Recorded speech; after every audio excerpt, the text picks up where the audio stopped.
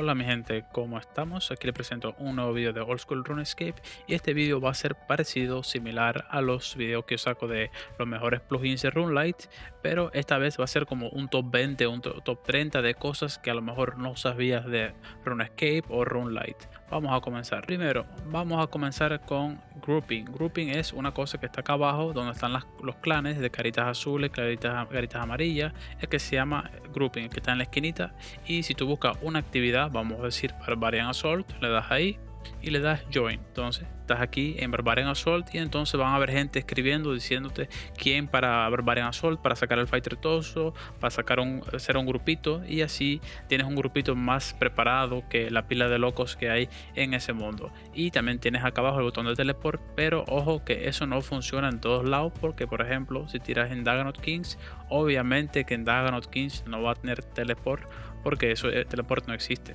simplemente está esa opción ahí. Por si no lo sabías, también puedes tener más de un tipo de bolt puestos a la vez, como pueden ver aquí, y puedes cambiar mientras que estás disparando. Ahora mismo tengo los Diamond Dragon y si quiero cambiar para los rubí, para los monstruos que tienen mucha vida, le doy un toque y se cambió para acá abajo. Ahora estoy disparando Ruby Bolt E y lo doy aquí y de nuevo Diamond Dragon. ¿Cómo puedes tener eso? Solamente con el Bolt Pouch, vale 1500 de oro y acá abajo en la ciudad de los enanos. Les voy a mostrar dónde está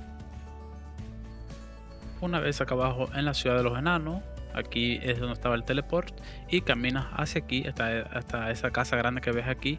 Y hablas con la persona que se llama Hirko. Hablas con él le das 1500 de oro y él te da el Bolt Pouch. Con el Bolt Pouch puedes poner hasta dos volts y tú lo pones aquí. Donde dice extra amo va a ser este, este que está acá arriba. Y tú puedes configurarlo. Es una cosa muy útil, por ejemplo si vas a, a Ray 3 y disparas con un Charity Crossbow vas cambiando. O si vas por ejemplo a God Wars también es útil porque si vas a Armadil por ejemplo puedes ir cambiando. Y también para el Mitril Grapple. Mitril Grapple nuevamente te hace falta otro espacio en el inventario y ya con esto no va a hacer falta. Puedes poner aquí tres si tú quieres, tres cosas acá arriba y dos cosas acá abajo para que vean lo útil que es esta cosita.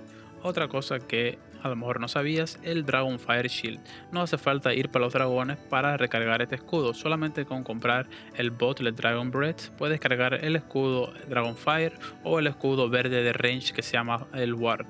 Solamente le das ahí activas el escudo y ya está, como pueden ver, inspect 50 carga, ya está al full cargado. Y ahora le voy a mostrar algunas ropitas, por ejemplo, si no tienes el altar para cambiar de libros, por ejemplo, ahora mismo tengo lunar, no tienes el altar y tienes 99 magia, solamente con comprar la capa de magia le das spellbook y lo cambias para ancient, arceos, para el standard, lo que tú quieras. Y puedes hacerlo 5 veces al día, como puedes ver ya lo cambié. Y hablando de ropa, vamos a decir que tú estás haciendo Winter Tots, pero no tienes la ropa de fuego. También puedes ir con una capa de Fire, Fire Cape te sirve como ropa caliente y también puedes tener tu ropa de Santa Claus, tu ropa de Papá Noel. Por ejemplo, esta ropa de Papá Noel te sirve también como ropa contra el frío y te protege contra los golpes de Winter Tot. Una pequeña cosita de Rey 3 que a lo mejor no sabías para las personas que tienen eh, las piedras duplicadas. Yo he visto gente que tienen 5, 6, 7, 8 piedras de las mismas. Puedes tirarles simplemente High Alchemy y te dan un buen dineral por ella. Me dieron 180k por esa piedra. Y ahora sobre las llaves. A lo mejor no lo sabías, a lo mejor sí, pero igual se lo voy a mostrar. Las llaves de Ecumenical Keys que tropean en el Wilderness, en el God Wars, las puedes hacer High Alchemy también. Solamente le tiras High Alchemy y verán el dinerito que llega. Es 61.000 de oro, que es bastante pero no le vale la pena. Si te gusta hacer bastante Ghostbusters, no vale la pena. Y también otra cosa, tú puedes tener no solamente 5 llaves, puedes tener todas las llaves que tú quieras. Yo una vez tuve, casi 20 cuando estaba haciendo Next una semana entera, porque el Next en los masivos, que igualmente los niveles bajitos lo pueden hacer, no solamente para niveles altos, puedes farmear muchas Ecumenical Shards. Y cada 50 Ecumenical Shards le das Combine y tienes una llave adicional y te da XP de magia y de runecrafting, como pudieron ver ya tengo cuatro llaves ahora. Otra cosa que a lo mejor no sabía para las personas que no pueden abrir el Runlight y juegan en el cliente regular, todavía puedes revisar qué ping tú tienes en ese mundo. No tiene que solamente ser con Runlight, solamente abres el CMD en, el mismo, en tu misma computadora. Todas las computadoras lo tienen, desde las viejas hasta las nuevas. Escribes en el buscador CMD y entonces te aparece el prompt, esa cosa negrita aquí que ves ahora en pantalla. Y entonces ahí escribimos simplemente ping old school